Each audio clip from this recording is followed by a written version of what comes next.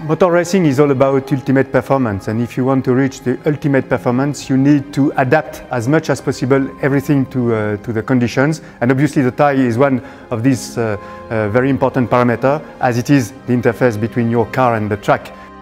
All the forces, moments and, and impressions from the track to the driver and from the driver to the track in the reverse order.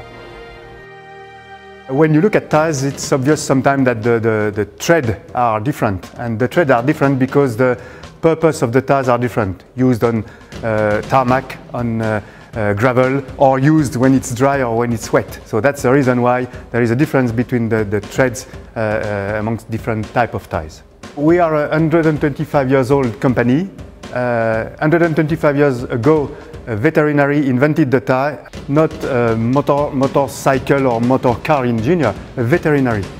And I think that tells you a lot. Maybe only a veterinary was uh, capable to invent something completely out of the box.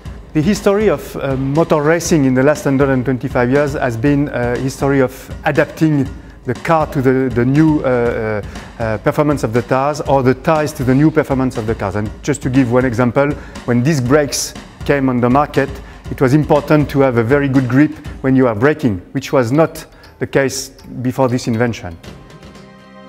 125 years is a lot. What about the next 125 years? The challenges are in safety, performance and obviously efficiency because it's the trend of uh, today's uh, uh, industry. But I see a fourth very important uh, way to, to explore it's communication. So I think the tire of the future will be what we call now smart, smart tire. This tire will be able to communicate with the driver, with the team manager, with the car and with the, the public. And this is something possible. It's not just an idea like that. It's possible because the sensors are becoming so small that this is uh, something we can envisage. But this is my point of view. What do you think?